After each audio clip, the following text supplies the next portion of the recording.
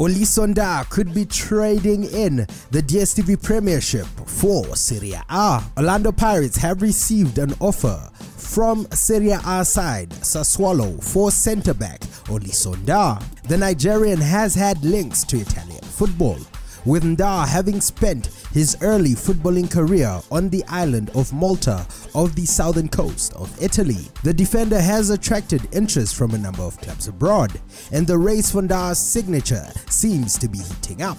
The Italian club is believed to have opened talks with Pirates for the Super Eagle defender's services. According to sources close to the Buccaneers, Pirates has already received an offer from Sassuolo, with talks between the two clubs said to be underway.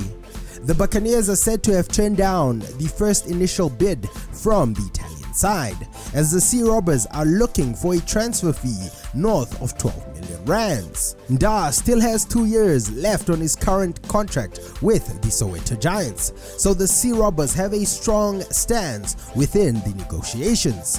Ndah has also been linked with a move to Sweden, so the Italians aren't the only club in the race for the centre back. Sources close to the player's camp have revealed that Ndah is happy at Orlando Pirates, but at the same time, the Nigerian international will not turn down a move to Europe if it presents itself. Orlando Pirates are said to already be making moves within the transfer market as they search for a new centre back. Local reports claim that the Soweto Giants have already earmarked Amazulu's Abubakar Mubara as the perfect replacement for the possible departure of the Nigerian international.